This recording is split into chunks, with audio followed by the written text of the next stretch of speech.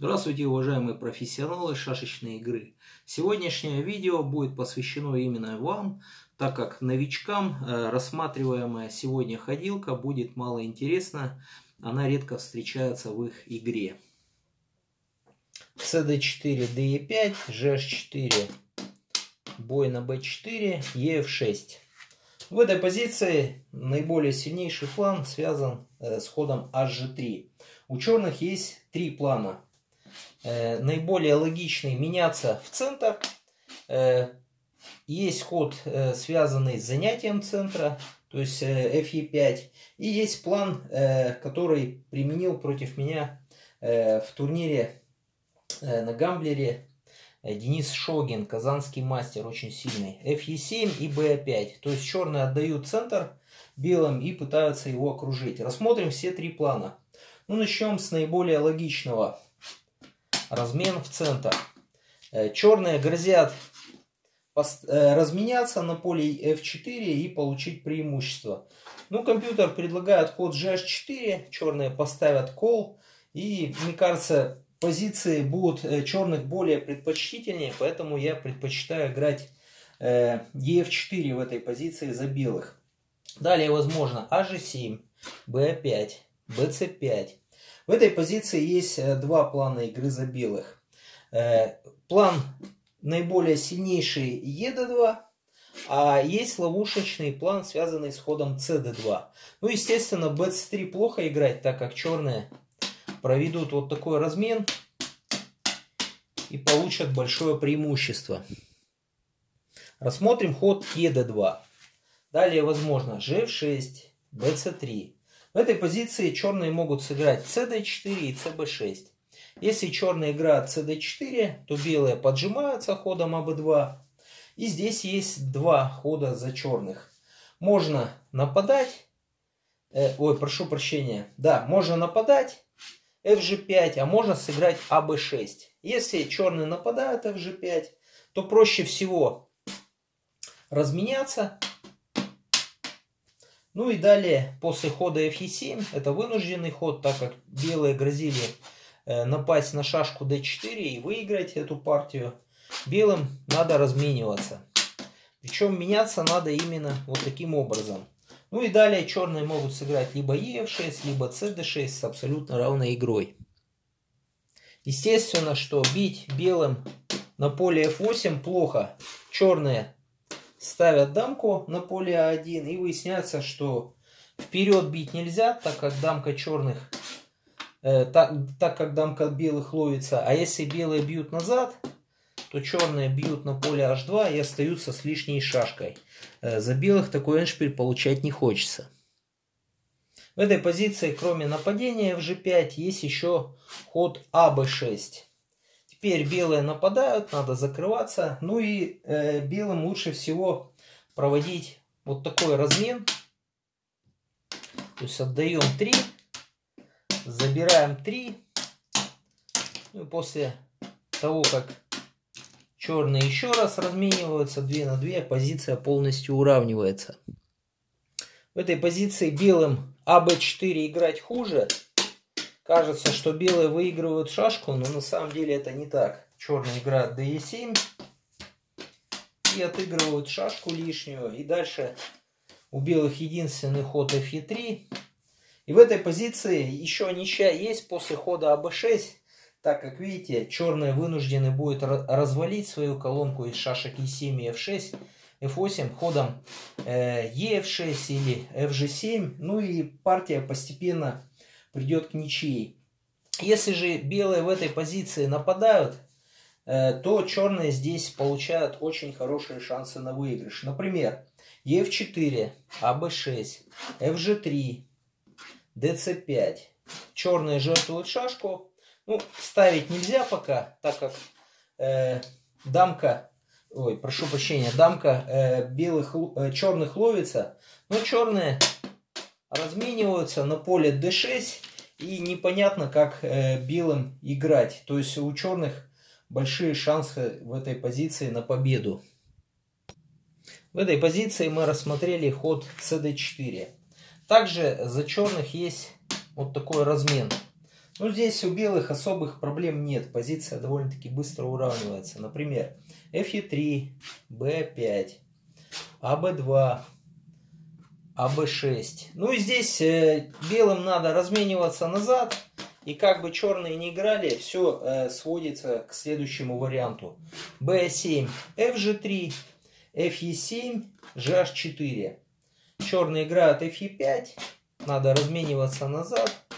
Ну и черные как-то пытаются выиграть, играют DE5, белым надо играть FG3. Ну и черные играют HG, HG5, то есть грозят занять пункт F4 и выиграть эту позицию. Ну, естественно, DE3 нету, поэтому белым надо, единственный ход есть э, GF4. Проводить удар. Побили, отдали. Бьем именно на H6, на H2 это проигрыш.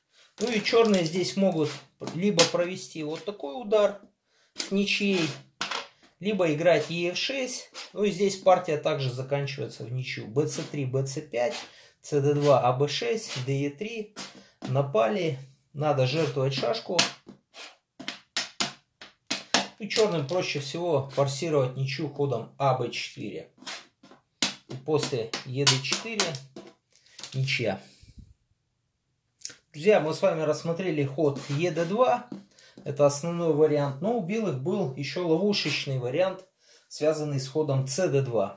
Именно так играл э, против меня на турнире мастеров известный белорусский гроссмейстер Евгений Кондраченко. Э, я затем в первой партии Евгений защитился, а во второй партии я также применил этот ход и выяснилось, что он плох. Почему? Ну, во-первых, GF6, FE3. В этой позиции у черных есть три варианта. Наиболее сильный вариант, связанный с ходом Fe7, именно так сыграл Евгений. Э, проигрывающий, практически проигрывающий ход DE7. Так играл против меня э, Денис Назаров э, в Супер Блиц на гампере. Ну, то есть контроль времени 1 плюс 1. И ход CB6. Ну, там вариант ничейный. Партия довольно-таки быстро заканчивается ничьей. Рассмотрим все три варианта. Но ну, если черные меняются CB6, то белым проще всего сыграть dc3. Ну и после хода b5 э, белые размениваются, там никаких особых э, премудростей нет. А после fe7 белые играют gh2, надо играть b5, белые размениваются и играют аб2. Черные нападают, белые размениваются. Ну и здесь э, После fe5 белые могут сыграть bc3. Там возможны интересные варианты, связанные с окружением. Но после аб4 удара партия быстро заканчивается ничьей. ед4, ну и черные постепенно убегают на ничью. Если белые играют bc3 вместо удара, то возможен следующий вариант. e6, cb4, cd4, b5. BC7 здесь уже проигрывает. Играем просто АБ4. Легкий выигрыш. А вот после DC3 э, черные еще могут достигнуть ничей. Надо играть АБ4. И черным надо жертвовать шашку. Ну, DE3 играть хуже. Черным надо жертвовать еще одну шашку и заходить в любки. Ну и в этой позиции партия заканчивается ничьей. Например, FG7 надо бить назад. dc3 побили и э, cd4. Черные нападают. Точный ход de5. Побили, побили, побили. Белые жертвуют шашку и играют АБ6. И в этой позиции белые могут достичь ничьей. Например, Fe7. Ну, надо тянуть эту шашку, иначе белые займут большую дорогу. F6. Поставили дамку. Надо закрываться. Играем АБ8. Ну и после HG3 делаем выжидательный ход. Надо играть GH2. Затем играем дамкой на G1. Ну и черные освобождают большую дорогу. Мы занимаем ее и достигаем ничьей. Это был вариант для любителей остроты и кривизны. Э, ход d7 в этой позиции практически проигрывает. То есть Денис Назаров против меня сыграл так. И дальше форсировано gh2. Ну, рано или поздно выходить на d4 придется. Мы играем ef2. Грозим выиграть шашку. Надо играть fe5. Мы размениваемся на g5. Грозим сыграть gh4 и полностью окружить позицию черных. Приходится играть fg7. Нападаем. Надо отходить. dc3. Ну и после э, единственного хода АБ6 проводим такой стандартный удар. Ну, после размена выясняется, что черные до дамок не успевают. HG7, FE3, HG3 фиксируем точный ход. Ну и э, CD4 нет, так как белые разменяются назад. А если играть CD, э, ED2, то мы жертвуем шашку Ставим дамку, ну и вот эти отрезанные шашки на доске не более чем балласт. Белые легко выигрывают. Ну и наиболее сильный план в этой позиции. FE7. То есть черные готовят упор для того, чтобы э, атаковать правый фланг белых. GH2. FG5. Ну, размениваться назад плохо. Приходится меняться. Ну, надо бить именно на F6, иначе э, черные проводят комбинацию. Но здесь после размена черные получают огромное преимущество. Кажется, что позиция равная, на самом деле это не так. Черные точно играют дамкой на Е3. Видите, отдавать три шашки, даже сюда лучше побить, за одну э, дамку сомнительное удовольствие. То есть черные проводят дамку на поле g1, и затем у них остается две лишних шашки. Эншпиль за белых очень плохой. За белых здесь есть ловушечный ход. Надо сыграть на поле b4. И если черные ошибутся, сыграют hg5, то мы точно играем аб6. В эту сторону бить нельзя. Бел... Э, черные останутся без шашки. А после такого размена выясняется, что позиция ничейная. Поэтому в этой позиции за черных надо точно пойти дамкой на g1. И если белые теперь пытаются помешать э, проведению шашки h6 дамки, тогда мы играем de7, белые bc3, ed6.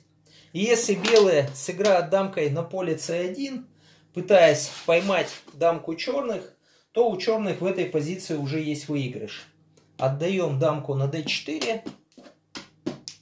Ну и после разменов э, черные выигрывают. Например, Е2, АБ6 точный ход, единственный на выигрыш. АБ4, черные меняются. Надо играть АБ2. Черные играют э, ДЦ3. Ну и после АБ6 нападаем. Надо делать присоску и бьем именно в эту сторону. Э, бой на G1 ведет лишь к ничьей. Белые бьют, ставим дамку, надо отходить и легко выигрываем. Обороняться по верхнему тройнику белым не удается, так как черные проведут шашку h6 дамки и затем построятся вот таким образом и будут грозить, то есть на любой ход, либо дамка, если будет здесь, отдать сперва так, затем так, и легко выиграть эту позицию. Если же э, белые перестроятся, то есть партии против Евгения перестроился таким образом и оборонялся по большой дороге, то черные играют дамкой, ой, шашкой на поле Е7. И если белые даже построятся вот таким образом, у них э, нет даже такого размена, который я э, применил в партии против Евгения. То есть черные тут грозят э, поймать дамку белых а такого размена здесь нет, так как приходится бить на d8. Ну и черные просто играют на c7 и легко выигрывают. То есть данный эншпиль я э, расцениваю э, на практике как проигранный за белых. Так играть за белых очень плохо. Интересный план в этой позиции применил против меня Денис Шогин, очень сильный казанский мастер. Он сыграл f7. Я играю cd2, готовлю упор для размена на c5. И Денис играет b5, заставляя белых ставить кол. Но кол в данной позиции подвержен окружению, поэтому белым надо играть очень аккуратно. Э, черные напали, и в этой позиции я сделал вот такой двойной размен. Черные играют bc7, я играю fe3. Черные снова напали. Похоже, Денис анализировал эту позицию и знал все варианты. Э, в этой позиции мне надо было играть ед4 точно. Ну и после того, как Денис э, пошел бы ef6, точно отвечать gf4. Э, То есть в этой позиции размен de5 практически проигрывает. А после gf4 ничья есть. Например, разменялись, надо нападать. Лучше всего отдать шашку лишнюю и сыграть hg5. Ну и тут форсированная ничья. bc3, de7, ab2, hg7. Ну, проще всего разменяться вот таким образом. И на ab6 еще сыграть bc3. То есть если bc5, мы уже смело идем в любки. Ну, партия заканчивается ничьей, то есть напали, обрезали шашки белых от похода в дамки по тройнику. Ничья. То есть в этой позиции надо играть именно gf4. Так размениваться, естественно, плохо. Черные играют АБ4, ну и на любой следующий ход просто занимают пункта 3 и грозят пройти в дамки через поле c3. Так, так играть очень плохо за белых. Я же этих вариантов не знал. И вместо правильного ед4 в этой позиции сыграл ef2. А тут этот ход, оказывается, проигрывает. И проигрывает довольно-таки быстро. Надо меняться на поле e5. Так и было в партии. bc3, hg7, ab2, ef6, gh4. Ну и в этой позиции Денис ошибся, к моему счастью. То есть э, к победе черных вел ход de7. Видите, черные выстраивают колонку. И у белых нет ходов fg3 и fe3. Остается играть только gh2. Тогда черные играют ef4. Ну и все сводится к следующей позиции. Например, b3, fe5, ab4, ef6, fg3, fe3. Ну и после cd4 последнего хода бьем а на c3. Ну и как бы белые не били, они остаются без шашки. А черные еще и проходят в дамки. Денис же в этой позиции вместо выигрывающего d7 перепутал, видимо, варианты, сыграл e4. Тогда уже у белых проблем нет. cd6. В этой позиции надо было играть fe5 и ничья, возможно, как после hg5, так и после fg3. А Денис Попытался выиграть ходом fg3, но здесь уже у черных плохо. Я отхожу, черные идут дальше, и белые выигрывают. То есть бьем. Ну, естественно, белым нельзя бить сюда, так как они останутся без шашки. Бьем э, на e5. Черные бьют. Я поставил дамку. Денис отошел. Точно играю дамкой на поле А3 не давая никаких шансов на ничью. И партия здесь быстро закончилась. dc7, gf2, cb6, fg3. Ну и после э, э, de3 я сыграл bc3. И на fe5 просто разменялся. И Денис сдался. Ну и заключительный вариант на сегодня. Э, на одном из стримов я комментировал партии ярославского мастера Ивана Смуркова. Э, Иван сыграл в этой позиции fe5. Я э, подумал, что этот ход плохой, но на самом деле, в принципе, так можно играть. Э, партию мы играли против э, чемпиона России э, Романа Щукина, гроссмейстера. Роман точно связывает центр черных. Ну и далее форсированно получается следующий вариант. bc5, b5, gf6, э, cd2. В этой позиции я предложил сыграть АБ6, грозя FG5, то есть разменом. Э, э, Роман играет DE3. Ну и после B7, ED2. Здесь мы ошиблись в этой позиции. То есть в этой позиции лучше всего играть DE7. И возможен очень красивый форсированный вариант. GH2, HG7. Надо меняться. Э, черные играют cd4. Ну и ход здесь вынужденный, g6. И затем черные играют dc5. После dc3, э, ой, прошу прощения, dc3 нельзя. После bc3 и fe3 у черных преимущество, так как они стоят в центре, но белые могут форсировать игру в этом варианте, сыграв de3. Лучше всего черным размениваться. Ну и после gf4 черные временно жертвуют шашку и отыгрывают ее. Но белые тоже имеют э, контр-игру, то есть они связали э, левый фланг черных. Далее возможно э, bc3, э, b3, fe3 единственный ход. Так, прошу прощения, ходы перепутал. Так, ход белых. fe3, b3, hg3, ab2. Белым надо размениваться, не давая э, черным пройти в дамки. Ну и здесь э, черным лучше всего провести вот такой ударчик. Отдаем ef4, затем ab6 и ед6. Бьем на b2. Позиция белых э, выглядит подозрительной, но ничья все-таки есть. ед4. Ставим дамку, надо отходить. Нападаем, отдаем. B7. gf6. Белые жертвуют шашку и ставят дамку, достигая ничьей. Вот такой интересный вариант остался за кадром партии.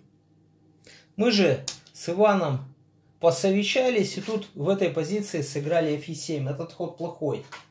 Белые играют gh2.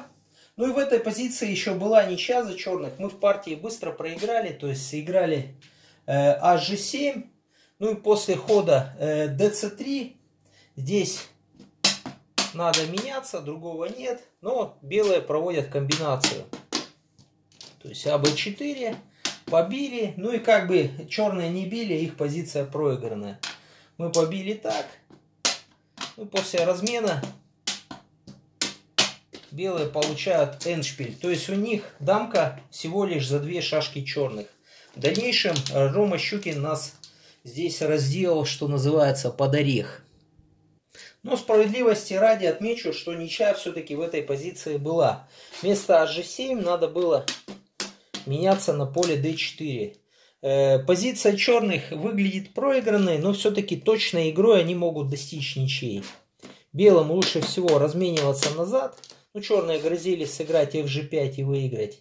Ну и в этой позиции надо точно играть АБ6, АБ2, БЦ5, Б3.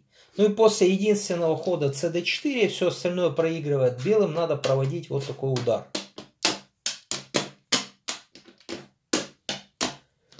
Кажется, что черные проиграли, но находится жертва. И после размена выясняется, что позиция черных все-таки держится. Например, ед4, ед6, gf4, hg7. Ну, здесь можно э, FG3 сыграть, можно пожертвовать шашку. Наверное, лучше сыграть FG3. Черные нападают. Белые также нападают. Ну и в этой позиции единственный ход, приводящий к ничьей, GF6. Остальные проигрывают. Надо жертвовать. И затем э, черные играют BC5. Ну и как бы белые не пошли, э, позиция ничейная. Например, GF4 отошли. G6, не давая поставить дамку. Ну, черные играют CD4. Ну, после хода FG5 черные наконец-то ставят дамку, допустим, на поле C1.